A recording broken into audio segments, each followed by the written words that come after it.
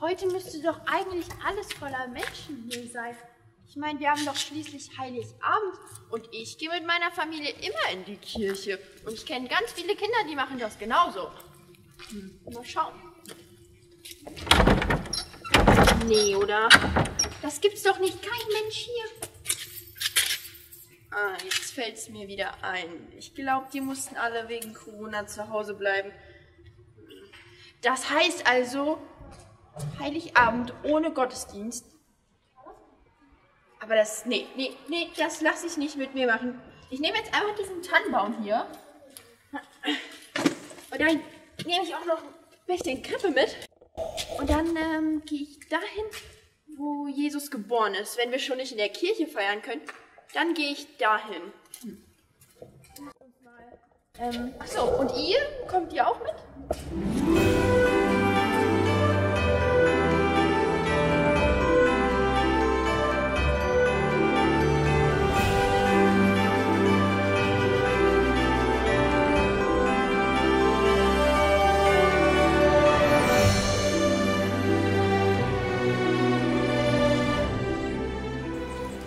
Schon die dreckigen Schuhe angezogen. Jetzt muss ich doch hier irgendwas finden.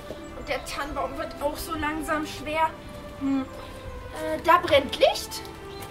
Das sieht aber schön aus. Und das ist echt gemütlich hier. Ich glaube, hier können wir wirklich gut Kinderkirche feiern.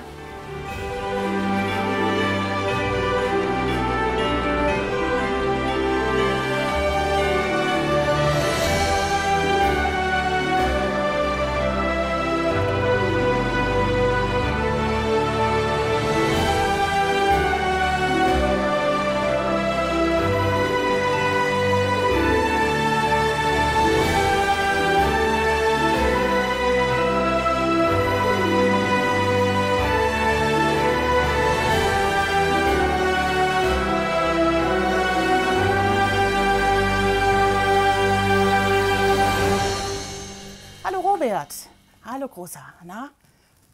Schön bei dir zu sein. Oh, fein, du machst das toll. Guter Junge. Ja, hallo zusammen. Herzlich willkommen zum Familiengottesdienst am Heiligabend. Heute aus einem Stall. Ein Stall war es, bei dem vor über 2000 Jahren die ganze Geschichte begonnen hat. Ein Stall, vermutlich nicht so schön groß wie dieser hier. Bestimmt kein Pferdestall mit Sicherheit auch kein Stall, in dem bereits alles aufgebaut und dekoriert ist. Aber ein Stall es, bei dem vor über 2000 Jahren Gottes Sohn auf die Welt kam, wo Jesus geboren wurde. Seitdem erinnern wir uns jährlich am 24. Dezember daran, was in dieser Nacht geschehen ist. Gerne würden wir mit euch gemeinsam hier im Stall stehen. Dieses Jahr ist alles anders. Diesen Satz hören und sprechen wir häufig, fast täglich. Und doch fühlen wir uns mit euch verbunden, jetzt hier, hier im Stall und ihr draußen und zu Hause. Wir wünschen uns und euch einen schönen gemeinsamen Gottesdienst. Wie immer wollen wir das gemeinsam beginnen. Wenn ihr wollt, macht mit. Wir feiern unseren Familiengottesdienst im Namen Gottes, der uns schützt wie ein Haus uns schützt, der unsere Füße auf festen Boden stellt und der uns mit seiner Liebe umgibt, wie liebe Menschen um uns herum.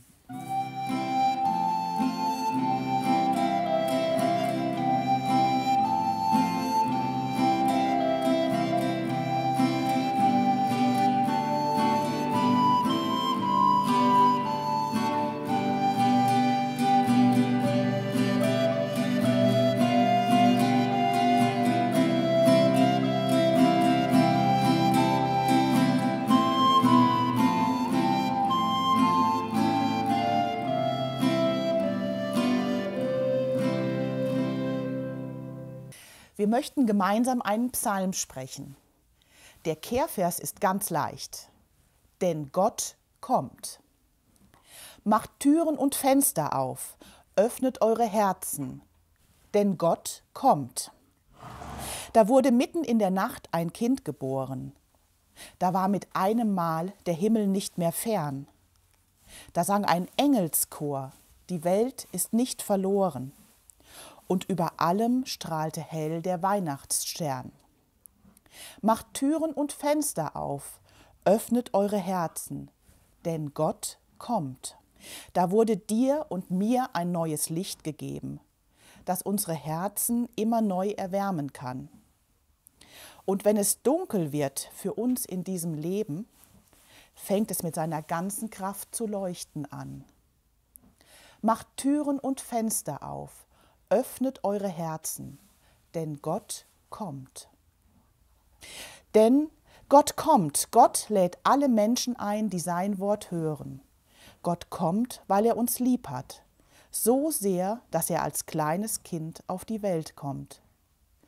Macht Türen und Fenster auf, öffnet eure Herzen, denn Gott kommt. Lasst uns gemeinsam ein Lied singen. Ihr Kinderlein kommet. Música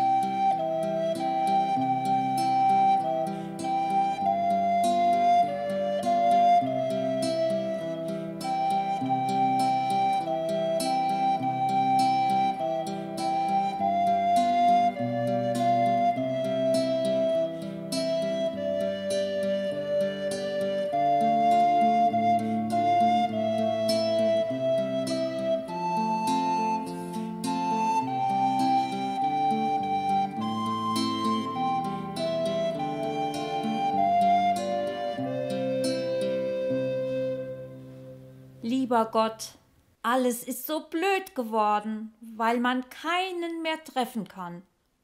Gut, dass ich dich habe, dir alles sagen kann, wirklich alles, und Fragen stellen und schimpfen, egal wo. Und das hilft gewaltig, ohne einem anderen dabei weh zu tun. Und jetzt bitte ich dich, lieber Gott, gib allen Kindern den Mut, dich als Freund zu nehmen. Du bist ja selbst ein Kind gewesen, in einer schlimmen Zeit. Amen.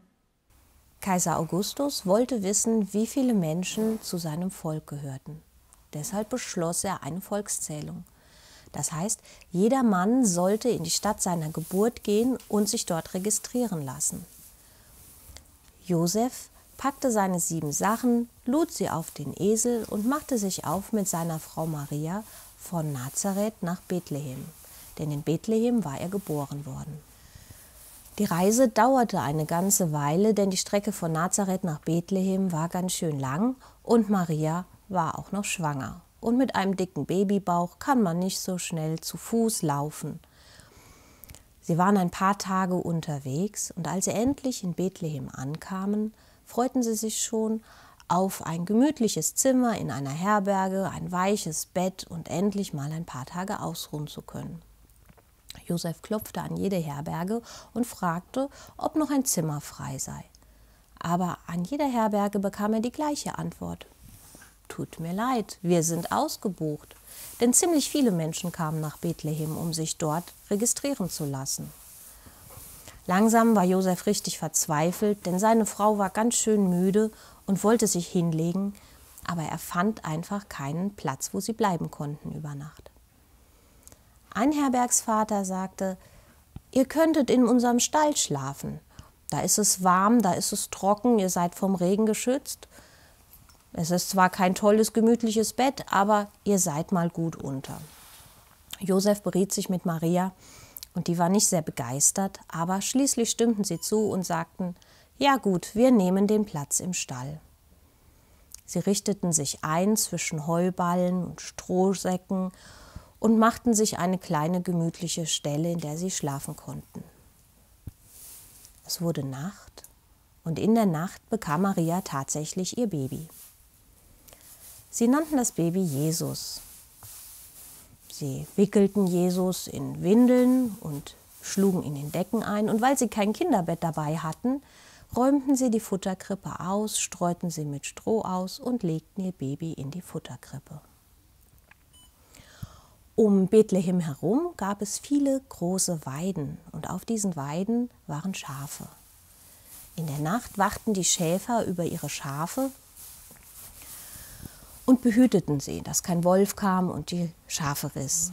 Und als die Schäfer so an ihrem Feuer saßen, versuchten sich zu wärmen, Da erschien ihnen eine helle Gestalt. Die Schäfer bekamen ganz schön Angst, denn diese helle Gestalt sagte mit einer klaren Stimme, Fürchtet euch nicht. Aber natürlich, wenn mitten in der Nacht irgendwo ein helles Licht kam, fürchtete man sich doch. Die Gestalt war ein Engel. Der Engel war von Gott geschickt. Und der Engel sagte den Schäfern, Fürchtet euch nicht. Euch ist heute Nacht der Heiland geboren, der Retter der Welt. Das ist Jesus. Geht und sucht ihn. Ihr werdet ihn in einer Krippe finden. Er ist in Windeln gewickelt und schläft in einem Stall. Und dann hörten die Schäfer noch ganz viele andere Engel, die sangen und jubelten. Und sie wunderten sich sehr. Und nach einer Weile verschwanden die Engel wieder und auch der große Engel, der ihnen Bescheid gegeben hatte, verschwand.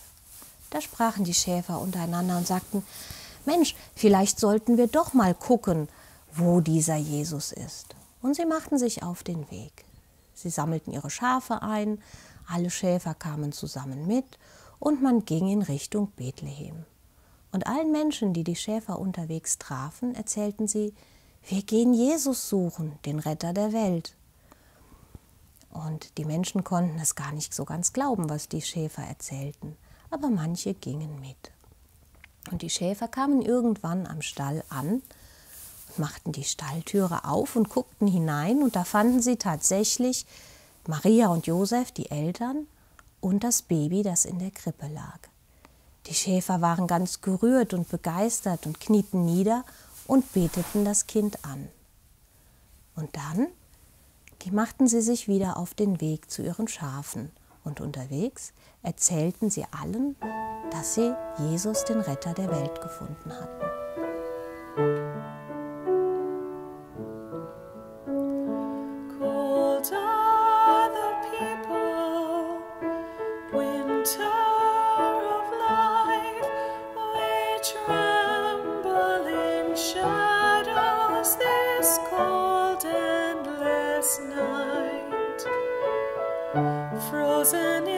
Mal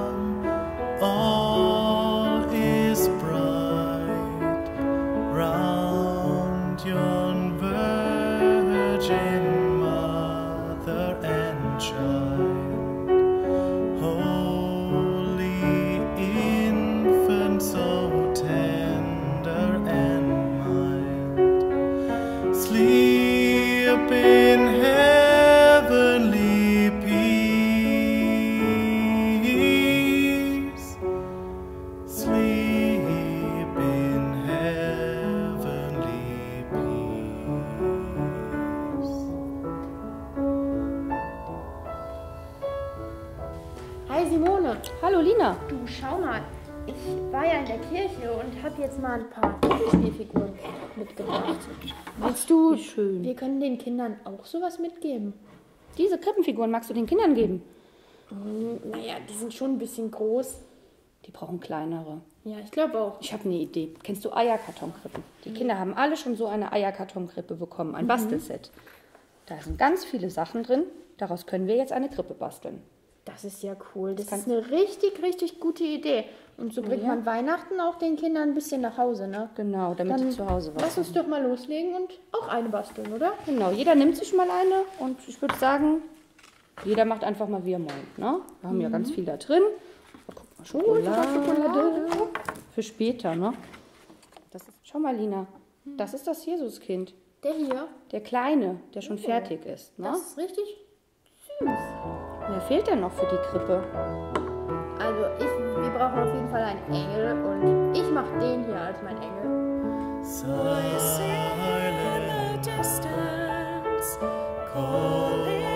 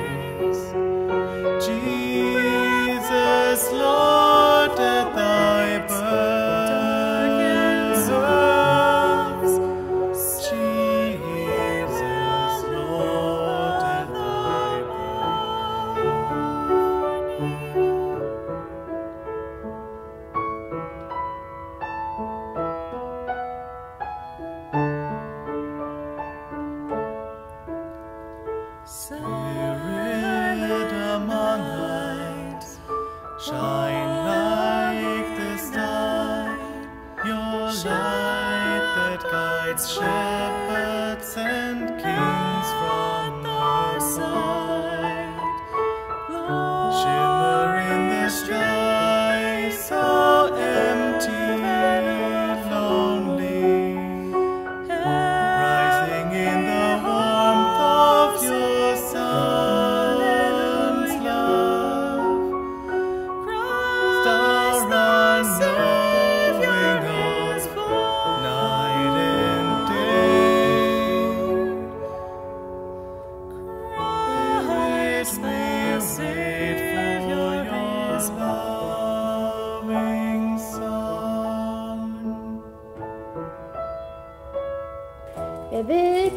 seiner coolen Krippe, wenn sie fertig ist, auch ein Foto machen und an die E-Mail hier unten schicken.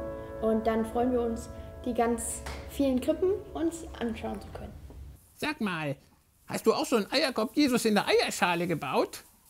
Leo, das ist kein Eierkorb Jesus, das ist eine Krippe im Eierkarton. Oh, schön. So eine hätte ich auch gerne. Ja, wir können mal schauen, ob wir noch so eine haben. Ja, und hast du jetzt eine gebaut? Ja, weißt du, wir Mitarbeiter, wir haben nicht nur eine gebaut, wir haben 180 gebaut. Boah, Potzblitz, 180? Eins, zwei, drei, vier, fünf, sechs, sieben, acht, neun, zehn. Das sind mehr als zehn, oder? Ja, das sind viel mehr als zehn. Und dann haben Mitarbeiter die noch den Kindern nach Hause gebracht, an die Haustüre, um ihnen eine Freude zu machen. Boah, das ist ja cool. Und was mache ich jetzt damit? Naja, da kannst du jetzt eine eigene Krippe bauen und die zu Hause aufstellen. Und dann kannst du dich immer daran erinnern, Jesus ist auch für dich geboren. Und sagt, fürchte dich nicht. Fürchte dich nicht. Das, das hört sich gut an. Ich habe manchmal Schiss, weißt du. Ich weiß, ich weiß. Und, und dann kann ich mich daran erinnern, ich möchte auch so einen Eierkorb Jesus haben. Ich will auch so einen Eierkorb Jesus haben. Fürchte dich nicht. Ich kann doch noch ein Lied singen. Ein, ein Fürchte dich nicht Erinnerungslied. Soll ich? Ja, ich kann es wahrscheinlich nicht verhindern, oder? Äh, ich sing noch einen Song, Gott ist im Karton. Leo? Ja? Du bist unmöglich. Ich weiß.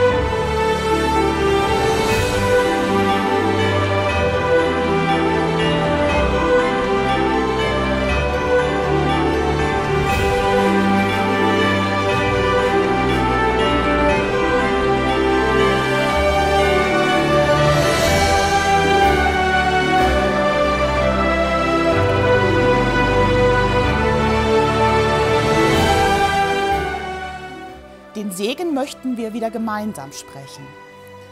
Gott, Du bist innen und außen und um uns herum. Gieß über mir deinen Geist aus, lass mich sein dein Haus und breite in mir Frieden aus. Lass ihn wachsen aus mir heraus. Du gibst meinen Füßen festen Stand und hältst mich sicher an deiner Hand. Vater unser im Himmel, dir gehört unser Leben, wir loben dich. Jesus Christ, unser Retter, dir gehört unser Leben, wir loben dich.